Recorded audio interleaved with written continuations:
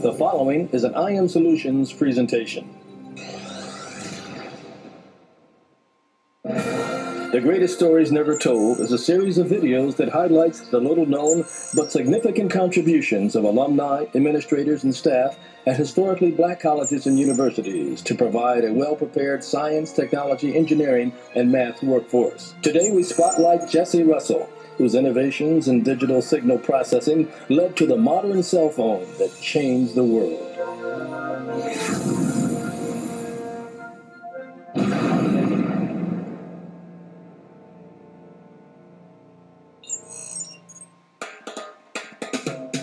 The cell phone has revolutionized how we connect to our world.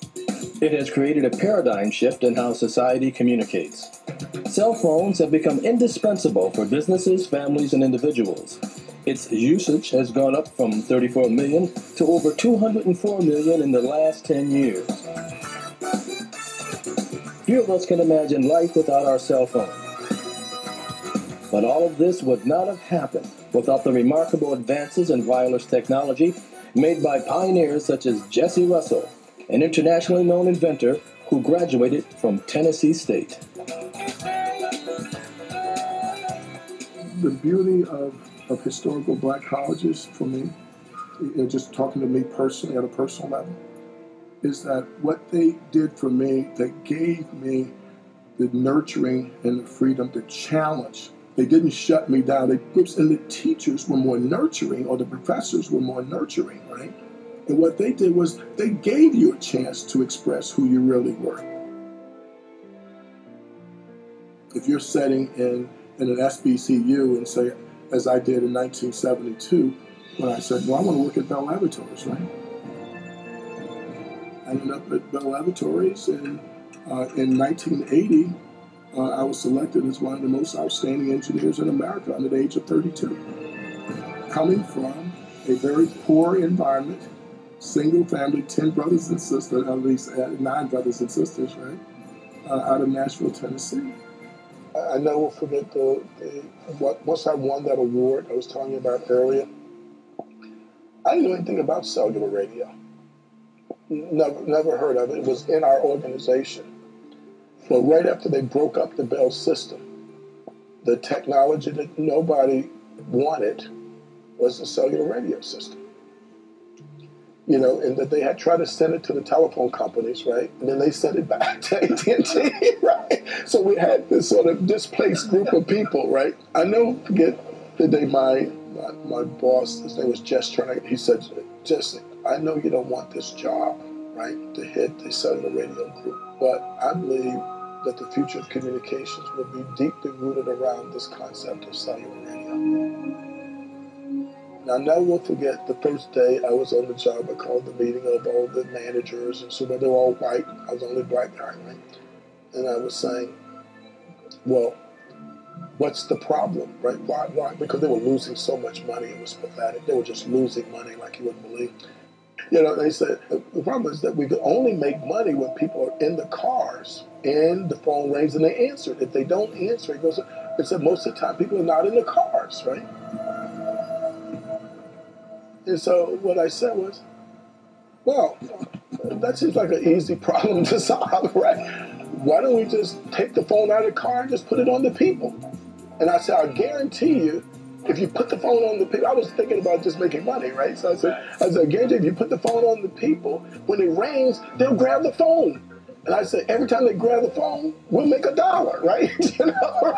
You can tell the brother coming from the street, it's like selling stuff, right? So, so I said, every time, man, we'll make a dollar, man. And I said that, uh, that, that we could turn the business around. At the time, I didn't know that the phones looked like the ones and they had these big bodies, you know? And so yeah, I look like your body, right? And so they, they were very nice and they didn't say, look, it was kind of stupid for you to think that we could actually put these kind of phones on people, right?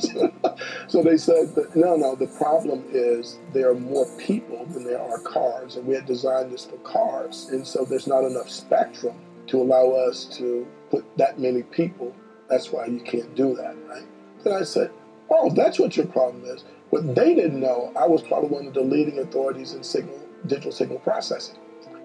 Uh, because that's how I'd gotten the award before, but they didn't know that, right?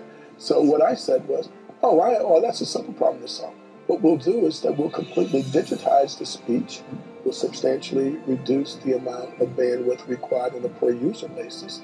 And I described to them how you could do that, by what modulation schemes you would use and so forth. Then I said, if you do the math on that, and I can show you how we do that, that you can get four times the number of people in the same amount of spectrum. And it took us from like 1984 to 88, and we built the first digital cellular system any place in the world.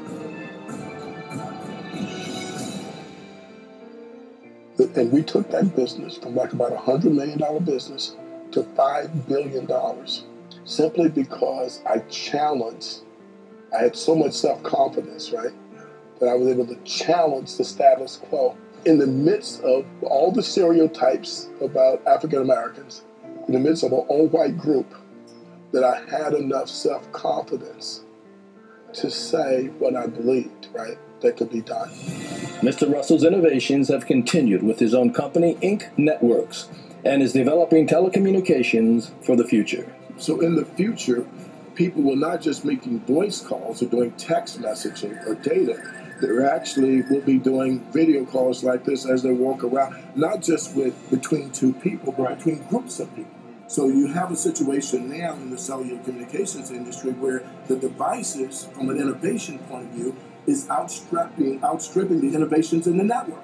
I mean, so you can build the, the fanciest device you want here, mm-hmm. but there's no network to talk to it that can deliver the bandwidth that's needed to do these very fancy things that they talk about with iPhones and iPads, right? Then you have a very limited thing. When you want more bandwidth on this device, then it's better to put the radio transmitters inside the building. And once you do that, you now can build a very broadband signal going up as well as coming down. Now you change the whole tenor of how you design cellular systems. And, and that's basically what we did. I used to go out in Black History Month when I was at Bell Labs, right, speaking to young kids, sixth, seventh, eighth grade kids, right? And one of the most touching things that I ever experienced, I was speaking to a sixth grader. And she says to me, she says, Are you a real inventor? And I said, Yeah, I'm an inventor. And I sort of talked about cell phones and I invent cell phones. She says that. Well, I thought all black inventors were dead. No, I, I think one of the greatest stories that ever been told is the contribution of black Americans in the 60s and the 70s and the contributions that they've made in technology. To be able to teach young people that the scientists, engineering, and mathematics are the foundation of our society. The satisfaction that you get when you look back, like today, when I see how many people can use cellular telephone systems and, and many people talk to me all the time. They said, "Well, I didn't know that it was a black guy that invented digital cellular communications."